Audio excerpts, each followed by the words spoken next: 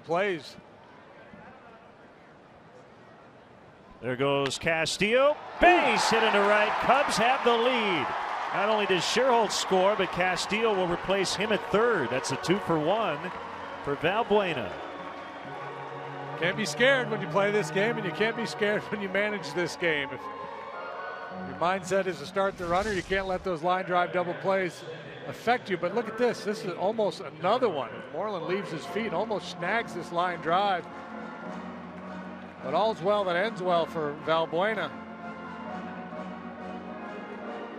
Didn't get to take his